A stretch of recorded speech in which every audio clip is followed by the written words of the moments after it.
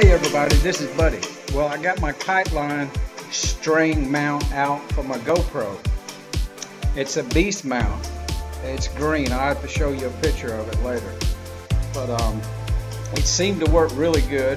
I did have to flip some of the footage, but um, hey, I hope you enjoy it.